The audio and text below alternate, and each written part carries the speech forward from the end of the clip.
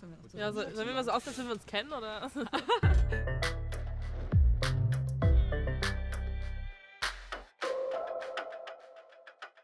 So, hi Amelie, hi Diana. Äh, ich hatte eine sehr interessante Frage für euch, die mir auf dem Herzen gebrannt ist. Wie waren eigentlich eure Englischnote vor dem Auslandsjahr? Also äh, meine Englischnote direkt davor war eine 1, glaube ich. Aber davor auch mal eine 2. Also ich war nie wirklich schlecht in Englisch, aber ist es nicht so, dass ich da immer nur Einsen hatte. Also es war immer so ein bisschen auf und ab. nee, ich hatte tatsächlich äh, immer eine Eins in Englisch. Ich hatte noch nie irgendwas anderes. Weil, also ich habe Englisch angefangen zu lernen, als ich kleiner war. Also so zur Kindergartenzeit. Und habe das dann auch, also ich habe immer schon dann Videos und Serien und sowas auf Englisch geguckt. Deswegen war das für mich eigentlich ganz normal. Und ich hatte da ähm, nie Probleme mit oder so. Deswegen, also für mich war das Auslandsjahr auch tatsächlich nicht so.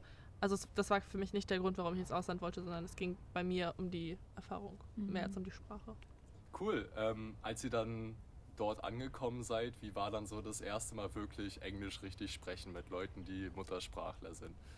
Also mit meiner Gastfamilie war es so, vielleicht, weil die auch extra so Rücksicht auf mich nehmen wollten, dann so langsamer und so gesprochen haben. Mit denen ging das voll klar. Also ich hatte so voll Angst, dass ich mit dem Englisch überhaupt nicht zurechtkomme. Also ich habe mir da richtig viele Sorgen und Gedanken gemacht, aber im Endeffekt war es wirklich gar nicht schlimm. Ich konnte mit denen voll gut reden. ne? Aber so nach ein paar Tagen bin ich davon wirklich richtig müde geworden. Also ich konnte wirklich die Müdigkeit in mir spüren, die ganze Zeit auf einer anderen Sprache zu denken. Also das war richtig krass. Ähm, und es war halt auch voll oft so, dass ich einen englischen Satz gesagt habe und dann aber einfach deutsche Wörter mit reingebracht habe, was so richtig komisch war. Aber dann halt in der Highschool war es halt auch nochmal was anderes, weil die Amerikaner dort halt viel schneller reden und auch richtig murmeln. Also das ist halt gar nicht deutlich. Man kann es wirklich kaum verstehen und da muss man wirklich so zehnmal fragen, so, was hast du gerade gesagt? Und man versteht es immer noch nicht und dann lächelt man so, hofft, dass es keine Frage war.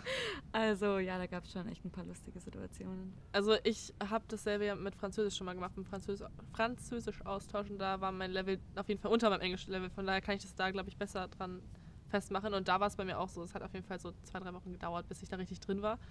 Und ähm, mit Englisch hat es nämlich gar nicht lange gedauert. Also wirklich, ich hatte das am Anfang, was du gesagt hast, dass man ab und zu mal aus Versehen also oder irgendwie sowas sagt. Und man denkt sich so, oh. also total aus Versehen. Aber ich war dann nach ein paar Tagen wirklich komplett drin. Also es hat nicht lange gedauert. Und ähm, bis ich dann wirklich also super schnell geantwortet habe, ohne irgendwelche deutschen Wörter und bis ich auch meinen Akzent komplett verloren habe, hat es ein paar Wochen bis so zwei, drei Monate gedauert, würde ich sagen.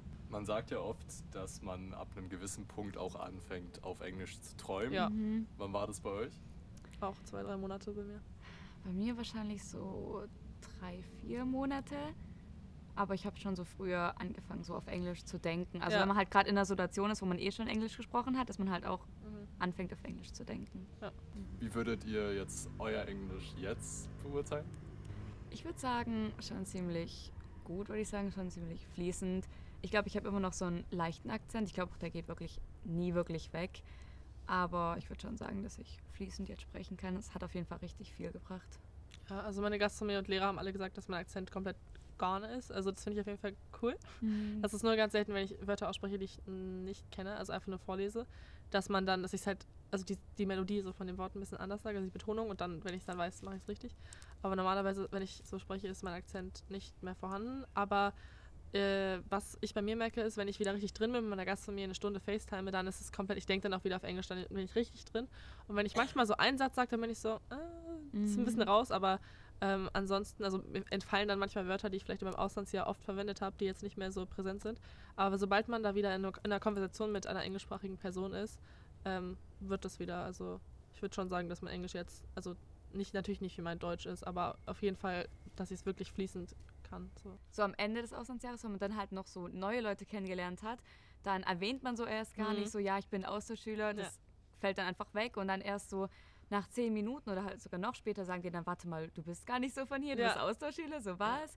Oder ich habe zum Beispiel auch mal im Disney World, habe ich so eine ähm, getroffen, die kommt aus England, also die hat natürlich einen britischen Akzent gehabt Mhm. und ich habe mich mit der so lange unterhalten und die so, ja, woher kommst du denn? Und ich so, ja, ich lebe hier eigentlich gar nicht, ich komme eigentlich aus Deutschland. Die so, was? Ich Hört dachte, man du wärst nicht, ja.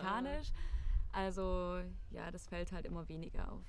Und wie war dann euer Deutsch, als ihr zurückgekommen seid? Sehr Oh. gedenglischt, sehr gedenglischt. Also ich will gar nicht sagen, also ich, ich finde das immer ein bisschen affig, wenn man nach dem Auslandsjahr sagt, ich konnte kein Deutsch mehr.